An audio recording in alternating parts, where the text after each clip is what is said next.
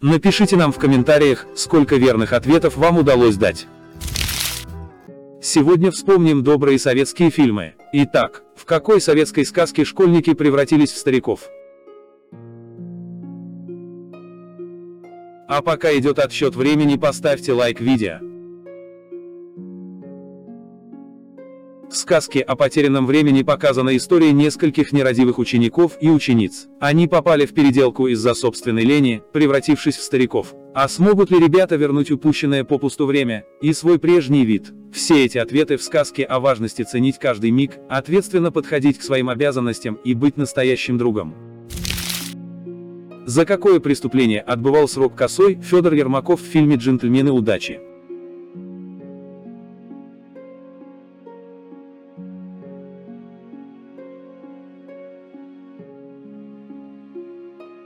Фильме «Джентльмены удачи» Савелий Крамаров играет косого, вора-карманника. Герой Георгия Вицина ему даже намекает о его прошлом, говоря, это тебе не мелочь по карманам тырить. В каком фильме герой Савелия Крамарова мешал для соседа по столу гремучий коктейль из водки перца, соли, сахара и горчицы?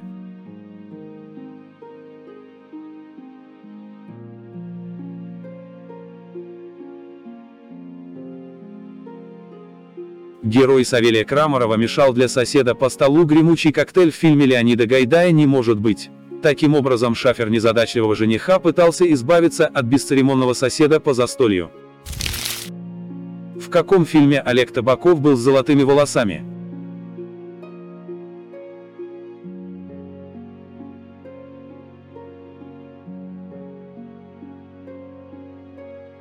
В сказочном фильме 1986 года Михаила Юзовского «После дождичка в четверг» Олег Табаков сыграл обаятельного и зловещего Кощея с золотыми волосами. На какую роль отважного персонажа пробовались Александр Абдулов и даже Владимир Высоцкий, но она досталась Михаилу Боярскому.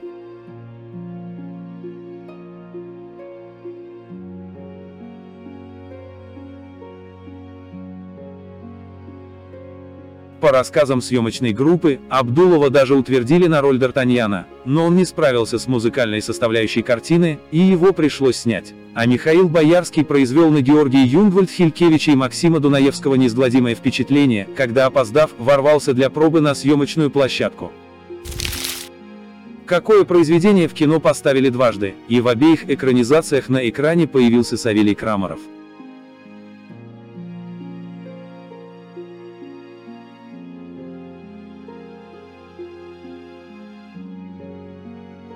Без Савелия Викторовича Крамарова не обошлись обе легендарные постановки «12 стульев». У Гайдая Крамаров был одноглазым шахматистом, у Захарова – слесарем Полисовым.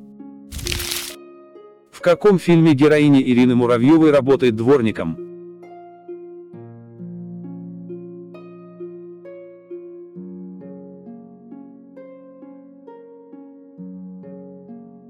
В фильме 1982 года Татьяны Леозновой «Карнавал» героине Ирины Муравьевой Нине приходится устроиться дворником, чтобы обеспечить себя в большом городе.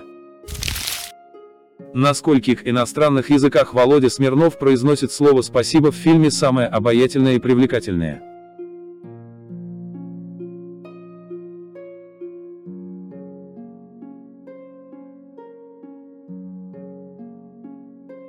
Володя Смирнов произносил слово «спасибо» в фильме «Самое обаятельное и привлекательное» на четырех языках – польском, армянском, грузинском и немецком.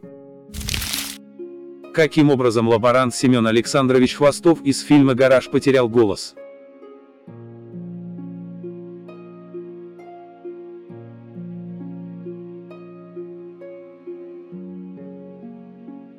Андрей Мягков в роли Семена Александровича Хвостова работает с фауной Ледовитого океана и нежно любит нашего тюленя Борю. И вот когда Боря заболел, то Семен Александрович прыгнул в бассейн с ледяной водой, чтобы дать тюленю лекарство. Так Хвостов простудился и потерял голос. Врачи говорят, надолго. Каких мужчин предпочитают женщины, по мнению Юлии Капитоныча Карандышева?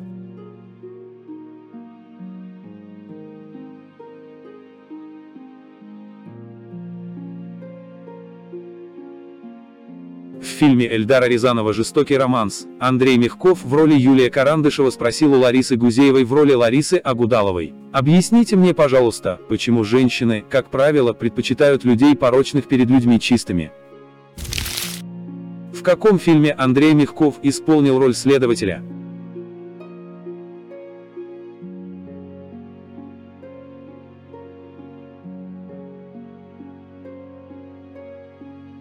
В трехсерийном детективном фильме «Гонки по вертикали» Андрей Мягков сыграл роль следователя Станислава Тихонова. Этот фильм был снят по бестселлеру братьев Вайнеров, мастеров детективно-криминального жанра. А у них, как известно, и преступники были не промах, и следователи на высоте. Какую роль Савелий Крамаров сыграл в мюзикле «Мама»?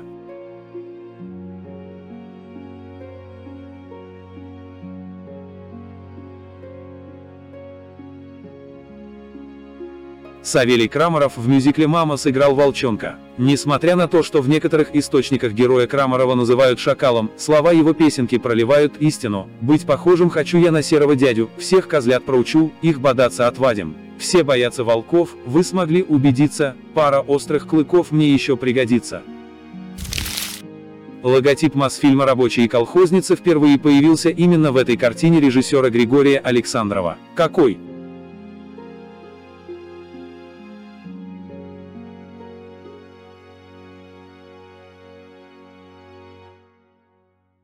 Заставка Мосфильма с изображением скульптуры Веры Мухиной рабочей колхозницы впервые появилась в фильме Григория Александрова «Весна», вышедшем на экраны в 1947 году. Какое хобби было у героя Александра Абдулова, Робера де Шаранса в фильме «Ищите женщину»?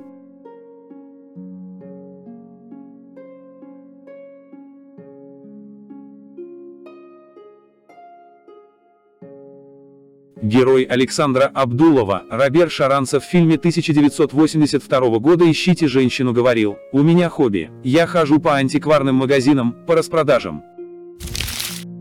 Скольких врачей Андрей Мягков сыграл в кино?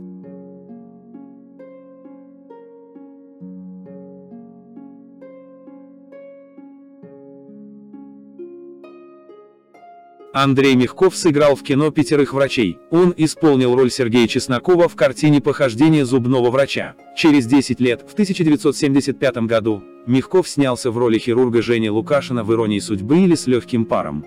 В 1976 исполнил роль молодого врача в фильме «Отпуск, который не состоялся». Чуть позже Андрей Мягков сыграл врача-кардиолога Льва Нечаева в картине «Утренний обход», а в 1998 году исполнил роль медицинского работника в картине «Контракт со смертью». На протяжении почти всего фильма Абдулов загримирован так, что узнать его можно только по глазам. О каком фильме идет речь?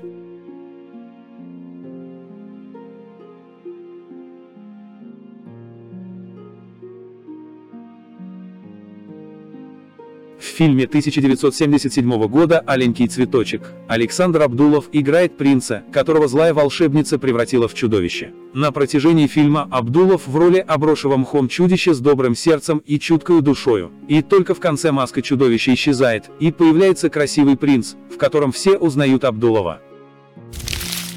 Какую профессию освоила Любовь Орлова для работы над фильмом «Светлый путь»?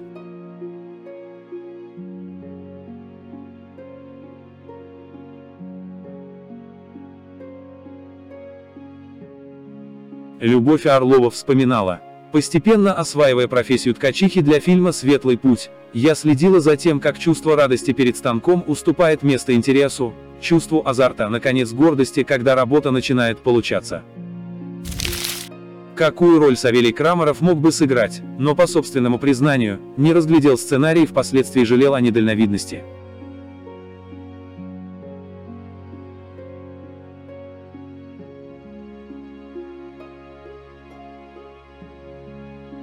Савелий Крамаров проходил пробы на роль Петрухи в фильме «Белое солнце пустыни», но отказался от этой роли, так как посчитал, что это фильм на полку. Когда вышел фильм, и Крамаров его увидел, то сильно пожалел о своей недальновидности, в чем признавался друзьям-актерам.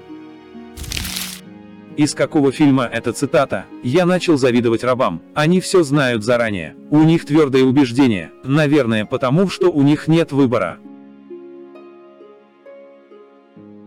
А пока идет отсчет времени поставьте лайк видео. Эту фразу произнес рыцарь Ланселот в фильме «Убить дракона». Это кинофильм притчи режиссера Марка Захарова, его последняя режиссерская киноработа. Фильм снят по мотивам пьесы Евгения Шварца «Дракон». А теперь традиционный бонусный вопрос без ответа. Герои какого фильма запечатлены в каменном памятнике и кузнечике в данном коротком ролике?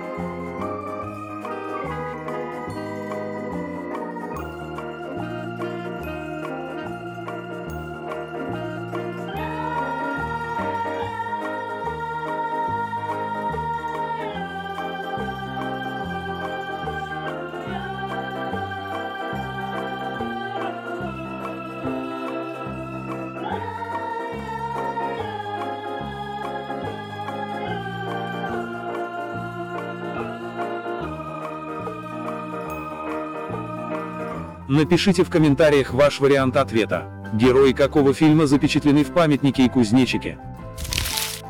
Надеемся, что вам понравилось. Мы порадуем вас еще массой увлекательных тестов на различную тематику. Подпишитесь на наш канал и вас каждый день здесь будет ждать новый занимательный тест.